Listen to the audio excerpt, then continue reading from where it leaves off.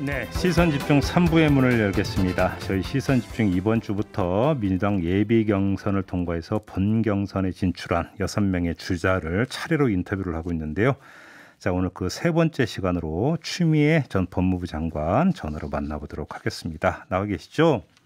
네, 안녕하세요. 네, 안녕하세요. 그냥 호칭은 후보님으로 하겠습니다. 네. 네. 자, 컷오프 통과하신 거 축하드리고요. 어제 박용진 그 후보께 몇 등으로 통과하신 것 같냐 여쭤봤더니 1등인 것 같다고 말씀하시는데 후보님은 네. 어떤 어떤 느낌이십니까?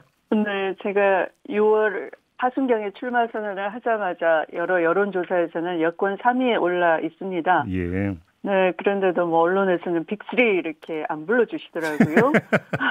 아무래도 더 네. 치고 네. 올라갈 거라 예상하시는 것 같은데. 네. 예비 경선은 뭐 아시는 대로 순위나 지지율을 음. 공개하지 않기로 당이 정하고요. 그렇죠. 그래서 제가 따로 말씀드리는 건 적절치 않다. 알겠습니다. 네네. 뭐 후보님께서 이제 꽝 잡는 매를 자처를 하셨는데 근데 네, 좀그 네. 죄송하지만 지금 여론조사 말씀하셨길래 좀 드리는 질문인데요. 여론조사 네. 지지율만 놓고 보면 지금 꽝보다 오히려 저공 비행을 하고 계시거든요. 네. 언제 고공 비행하시는 겁니까 그러면? 그렇지 않고요. 이미 어, 꽝이 꽝이 추락하고 있는 게 보이지 않습니까? 장목 구속 이후에. 네. 네 그래서 뭐 어, 저의 비상은 음. 계속 된다라는 음. 말씀을 드리죠. 그래요? 네. 하나만 더 여쭤볼게요. 그 네. 국민의힘의 김재원 최고위원이 민주당 네. 국민선거인단 신청을 하면서 네. 추미애 후보님에게 마음이 간다고 아예 스스로 밝힌 바가 있는데 어떻게 받아들이세요? 네. 그래서 그거 뭐 역선택이다 위법이다 하는 논란도 벌어지지 않습니까? 예. 그런데 이 명색이 공당의 지도부이신 분이 예. 상대당 경선 과정에 개입해서 분탕질 치는 행위가 음. 어, 정말 이거 비판받아야 마땅한 것이죠. 음. 어, 왜 저를 거론했는지는 뻔하지 않겠습니까? 그분은 뭐 친박 핵심 인물이죠. 음. 촛불 전국에서도 국민들에게 총뿌리를 겨누려던 세력 아니겠습니까? 예. 또 그걸 막아냈던 사람이 바로 저 추미애이고요. 음. 또 박근혜 대통령 탄핵시킨 지역도 누구겠습니까? 바로 당시 제1야당 대표였던 저 추미애였습니다. 예. 그분들 논리대로 윤석열 키워서 국민의힘 대선 주자들 못 자라게 음. 만든 사람도 저 추미입니다. 음. 뭐그 그분 말씀 그대로 음. 속내를 못 숨기는 참 음. 유명하신 분이다. 예. 네. 알겠습니다. 어제 이낙연 후보를 향해서 당 대표로서 네. 빵점했다고 직격을 하셨는데 왜 이렇게까지 말씀하신 거예요? 어 사실은 어, 문재인 정부의 초기 총리로서 대단히 훌륭하게 국정을 잘 이끌어 주셨지만요. 네. 어, 당 대표로서는 매우 아쉽다라는 취지로 말씀을 드린 건데요. 음. 어, 우선 뭐 민주당에 바라는 건 음. 어떤 음. 다른 당의 개혁을 바라지 않습니다. 음. 어, 민주당에 대해서 어, 똑바로 개혁해라. 음. 어, 민주당 다워라 하는 음. 건데요. 어, 개혁 과제 앞에서 좀 주춤거리고 음. 어, 또 속도 조절론 뭐 그러면서 등을 돌리고 어, 했던 것들이 누적이 돼서 보궐선거가 참패했다고 보고요. 예. 어, 물론 뭐 부동산 어, 바람이 투기 바람이 차단이 안 돼서 그러기도 하는 거지만 예. 어, 총체적인 평가가 그러지 않았나 하는 음. 거고요. 음. 어, 그래서 어, 민주당 다 와야 된다. 어, 헌신 책임, 개혁 음. 이런 걸 복원하자 하는 음. 취지로 드린 말씀입니다. 어제 그 후보님께서 이낙연 그 후보를 비판을 하면서 하셨던 말씀 중에 또 하나가 이제 그 대표 시절에 검찰 개혁이 지지부진했다 이 점을 지적을 하셨잖아요. 네. 그랬더니 이제 그 이낙연 대표 쪽의 김종민 의원은 검찰 네. 개혁을 정치에 이용하지 말라 이렇게 또 뭔가 그 반박을 했던데 어떻게 받아들이십니까? 어, 그건 뭐 좀 앞뒤가 바뀐 것 같고요. 음. 어, 저는 정치를 다 포기하고 음. 검찰 개혁을 진두지휘했던 거고요. 예.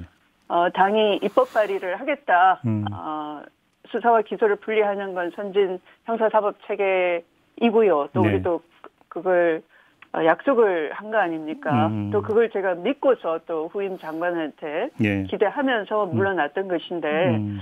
어, 그것에 대해서는 어, 그 당이 어, 원래 입법 발의 약속한 것을 예. 하지 않았다. 또 예. 그것을 가장 큰 책임자가 또 당 대표지 뭐 누구 소속 의원들한테 책임 전가를 할 수 없지 않겠습니까? 음. 네. 그러면 지금 이낙연 후보는 평가를 하시는데 이재명 후보는 어떻게 평가하세요? 이재명 후보는 뭐그 어, 최근에 어, 기본소득에서 네. 어, 좀 성장론자로 입장을 좀 바꾼 듯 하죠. 음. 네, 그래서 제가 기본소득은 뭐 정치적인 발제로서는 썩 훌륭했다. 네. 어, 그러나 어, 성장으로 또 성급히 그 방향 전환하는 건 음. 어, 바람직하지 않다. 물론 성장 필요하죠. 그러나 음. 저는 치유하는 성장, 20세기 음. 방식이 아니라 음. 21세기 방식을 제시하면서 음. 성장을 얘기하자. 그렇다고 기본소득을 입장을 바꾼다거나 뭐 공약이 아니다라고 한다거나 하는 건 음. 정치 신뢰를 떨어뜨린다. 역시 아, 좀 어, 냉정한 비판을 해드렸죠. 음, 알겠습니다. 네. 근데 네. 이제 최근에 여론조사 이제 몇 가지를 놓고 이제 말씀을 좀 나눠야 될 것 같은데요. 이제 추이를 보면 윤석열, 네. 이재명 두 분의 지지율의 변동 조짐을 보이면서 네. 그 변동의 결과가 지금 이낙연 후보의 지지율 상승으로 가고 있는데요. 네. 자, 왜 이것이 우리 그 추미애 후보님한테 오지 않고 이낙연 후보에게 가는 걸까요? 어떻게 진단을 하십니까? 검찰 개혁과 또그 네. 과제에 대해서 예. 추진력 있게 강단 있게 결단하면서 고비고비 넘어왔던 저 추미에 대해서 예. 언론이 1년 내내 추윤 갈등이다 이렇게 음, 음. 본질을 보지 않고 음. 이렇게 포장지를 씌워놨지 않습니까? 예. 이제 그것이 벗겨져 가는 음. 시간이 오겠죠. 음. 뭐 그때까지 좀 그 저는 참고 기다리고 있는 것이죠. 어, 네. 어, 뭐 조만간 뭐 드러나지 않겠습니까? 언론의 프레임에 좀 갇혀 있다 이런 말씀이시네요. 그러면 네, 네. 알겠습니다. 그럼 그 말씀을 하셨으니까 좀 이걸 여쭤봐야 될 것 같은데 윤석열 전 네. 검찰총장이 언론 인터뷰에서 어떤 주장을 했냐면 네. 그때 그 징계 국면일 때 네. 추미애 장관과 함께 물러나면 징계는 없는 것으로 하겠다면서 문재인 정부가 사퇴를 압박했다고 주장을 했는데 네. 이 발언 그 접하셨죠? 어떻게 평가하세요? 그거야말로 법적으로도 말이 안 되는 것이 예. 징계는 없던 걸로 할 수가 없습니다. 예. 징계위원회가 예. 독립적으로 음. 그 운영이 돼서 네. 어, 판단을 한 것이고요. 그 예. 판단 의결서 징계 의결서가 무려 100쪽이 넘습니다. 음. 그걸 어떻게 없던 걸로 하겠습니까? 더군다나 아, 대통령이 그걸 다 보시고 예. 어, 참 어, 기가 차다 하시고 이 재가를 하신 거거든요. 그래서 아, 기가 차다라는 혹시 대통령께서 이제 직접 그런 엄명이 있었습니까? 어, 대통령께서 기가 차다 딱 그런 표현은 안 하셨지만 네. 정말 심각하다. 그 음. 징계 의결서를 일일이 다 보시고 예. 네 대단히 심각하게 받아들이셨어요. 어, 어, 그래서 예. 어, 이것이 민주주의 제도 아래에서 민주적 통제를 하는 음. 어, 장관이 잘 한 것이다 하고 재가를 해주셨고요. 음. 어, 또 이것이 민주주의다, 어, 라는 말씀을 하셨고요. 어, 그랬는데 그걸 어떻게 없, 없던 일로 할 수가 있겠습니까? 그러면 윤석열 전 총장이 거짓말한 걸라고 봐야 되는 겁니까? 그러면? 아, 왜 그렇게 얘기하는지 모르겠는데 예. 아마도 검찰총장으로서도 어, 본인이 어, 과도한 수사권 남용 어, 또 뭐 기소를 했지만 음. 그게 다 엉터리 기소였다는 게 재판 과정에서 드러나고 있는 건데요. 네. 어, 마치 본인이 어, 어떤 정치적 핍박을 받은 당사자인 것처럼 해왔지 음. 않습니까? 네, 네, 네. 네, 그래서 또 스스로 말이 안 되는 입장을 바꾸면서 정치하고 음. 싶어서 나가놓고도 음. 사실은 정치 안 하겠다라는 태세를 보이면서 직무 배제 잘못됐다, 음. 법원 판결도 받아내고 어, 했던 것들이 다 모순이 되지 않습니까? 예. 그러니까 둘러대는 것 같아요. 둘러댄다. 다시 음. 네, 핍박받았다. 뭐 음. 없던 일로 해주겠다. 음. 사태를 종용했다. 이렇게 청와대를 잡고 대통령을 끌어들이는 음. 아, 피해자 코스프레를 계속 하고 있다. 음. 그러나 앞뒤가 안 맞지 않습니까? 알겠습니다. 네. 그 어제 이제 박범계 법무장관이 법무부 대검 합동 감찰 결과 한명숙 모해 위증 교사 의혹 사건에 대한 합동 감찰 결과를 발표를 하지 않았습니까? 네. 그러니까, 그러니까 저기 후보님도 아마 보셨을 것 같은데, 근데 일각에서는 네. 그래서 결론이 뭐냐 도대체 그래서 그 위증을 교사했다는 거냐 안 했다는 거냐 모호하다 이런 평가가 있던데 후보님은 어떻게 평가하세요? 위증을 교사했으나 음. 어, 이미 그것에 대해서는 검찰총장 윤석열 예비 후보가 음. 어, 그걸 인권부에 배당을 한다든지 함으로써 네.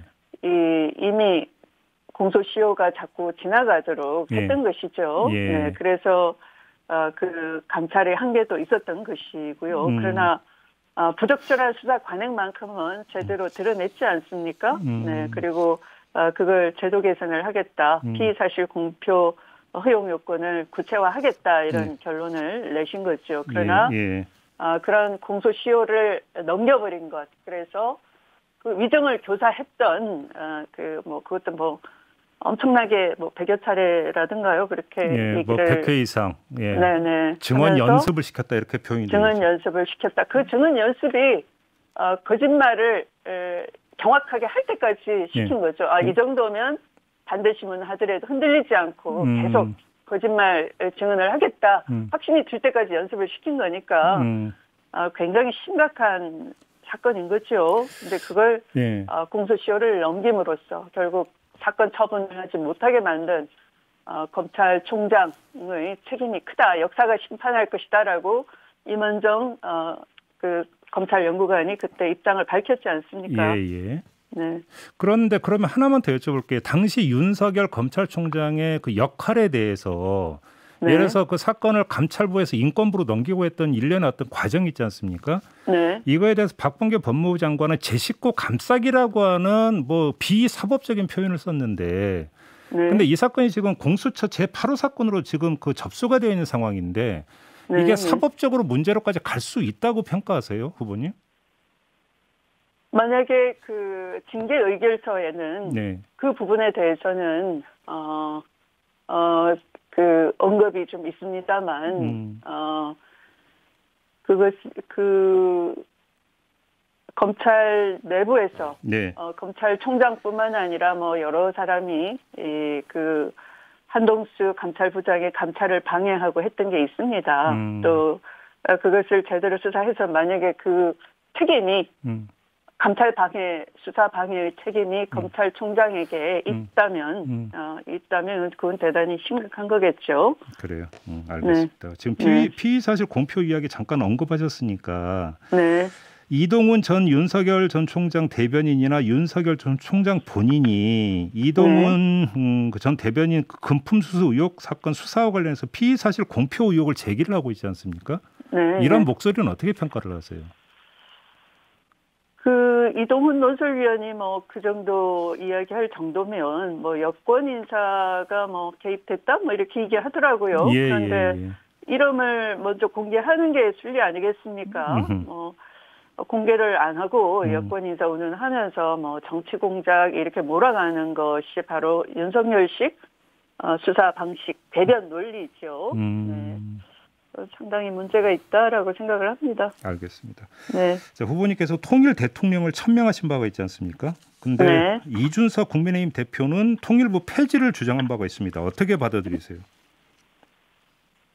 통일에 대해서는 우리 다음 세대에 대해서 분단에 대해서 우리도 분단 구조를 평화 체제로 예. 어, 이렇게 만들지 못한 이 현 세대로서의 책임이 막중한 거죠. 음.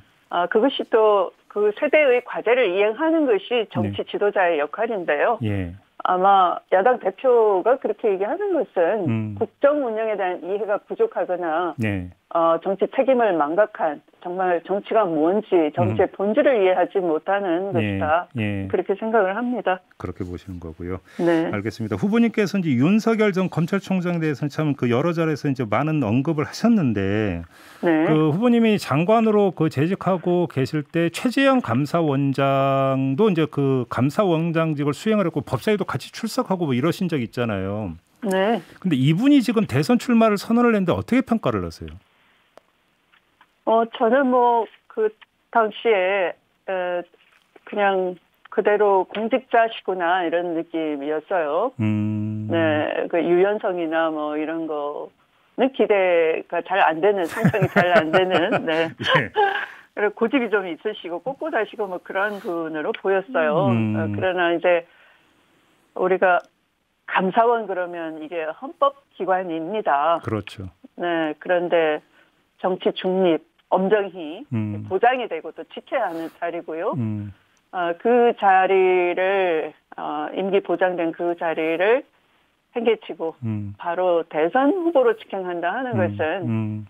어, 헌법기관이 헌법 질서를 교란시키는 거죠. 그래서 음. 대단히 반헌법적이다. 아, 네. 반헌법적이다. 반법치적이다. 네. 음. 알겠습니다. 네, 심각하다라고 봅니다. 그럼 이제 그런 평가와는 네. 별개로 대통령 후보로서는 어떻게 평가를 하세요? 그 경쟁력을. 어, 우리가 미래와 경쟁을 하거든요. 예. 미중 패권 경쟁은 바로 미래 과학 기술을 놓고 하는 경, 치열한 경쟁입니다. 우리가 물론 군사 외교적으로 이렇게 보이는 거지만 그 네. 그 내면을 파고 들어가면 예. 다음 세대의 미래 차세대 기술을 놓고 치열한 경쟁을 하고 있죠. 인공지능이나 음, 음, 5G나 음. 이렇게 음. 어, 이 법률가들이 음. 윤석열 총장이나 감사원장이나 다 과거를 가지고 과거의 잣대를 들이대면서 음. 이렇게 일을 꾸준히 해왔기 때문에 음. 미래에 대해서 지도력을 발휘하기란 대단히 어렵지 않나, 음. 어울리지 않지 않나. 그렇게 보시는 아, 거군요. 그런 생각을 해본 적이 없지 않나. 음. 어, 다음 세대를 맡기고 현재를 이끌어가라 하기에는 부적 격이다 이렇게 생각합니다. 알겠습니다. 네. 지금 당 안에서 경선 연기 이야기가 계속 나오는데 불가피하다고 보세요, 후보님? 우선 저는 이 방역 당국이 어떤 입장인지 음. 예, 뭐 이렇게 정보도 부족하고요. 네. 어, 하기 때문에 그것은 어, 지금은 국민의 생명 안전에 정치권이 협조를 해야 될 때이다. 음. 어, 생각을 하고요. 음. 어, 또 정보를 가진 이 우리 당의 그 음. 판단을 맡겨놨습니다. 그 음. 당의 방침에 따를 것입니다. 그 이재명 후보 같은 경우는 연기를 하더라도 네. 국감 전에 이제 끝내는 걸로 그러니까 의견을 냈다고 하는데 이런 그, 그 한도를 정한 어떤 연기 주장에 대해서 어떻게 평가하십니까? 우선 그 국감도 뭐 딱그 어 이 정당끼리 예. 어, 정당끼리 원내 협상을 통해서 음. 이제 시기를 정하지 않습니까 대체로. 그렇죠. 네. 어, 그래서 뭐 그렇게 유동적인 것에 어떤 음. 그 시안을 두고 음. 뭐 어, 하는 것은 또그 음. 형편에 따라서 음. 어, 그런 말씀도 하실 수 있는 거라고 보고요. 그러나 일단은 우선 그 방역에 음.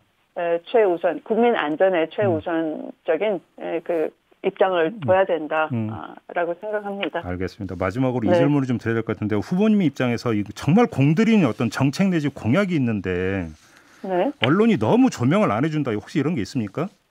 우선 사람이 높아야 한다라는 입장에서 예. 지금 뭐 부동산 문제 여러 음. 가지 중대 재해 사고 예. 어, 또 청년 고독사까지 그렇죠. 아주 그 폭증을 하고 있습니다. 심각합니다. 음. 저출생의 문제라기보다 우리 사회의 구조적 불공정, 불평등, 양극화에 음. 에, 지금 이 청년 세대도 개인적으로는 이걸 뛰어넘을 수가 없다 좌절하고 있는 거죠. 네. 그래서 어, 사람이 높아야 한다. 음. 사람이 높은 세상 만들겠다. 음. 어, 그래서 사람이 높은 세상, 음. 사람이 어, 사람을 높이는 나라, 음. 산업재해의 취미를 음. 어, 기억해 주시고요. 네. 또 어, 그것을 해결하기 위해서 어, 지대 개혁을 꾸준히 주장해 왔고요. 음. 그것은 바로 불로소득에 기대는 경제 시스템을 혁발을 해서 네. 어, 연간 400조 원이 넘는 불로소득을 음. 어, 일자리를 만들어내고 음. 공공 어, 복지를 확충하고 음. 또